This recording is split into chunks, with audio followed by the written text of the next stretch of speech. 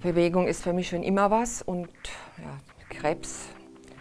Ich will so nah, so nah wie möglich wieder an mein normales Leben kommen. Ich will diesen Krebs aus meinem Körper rauskriegen. Vielleicht dem Krebs davonrennen auch durch Sport.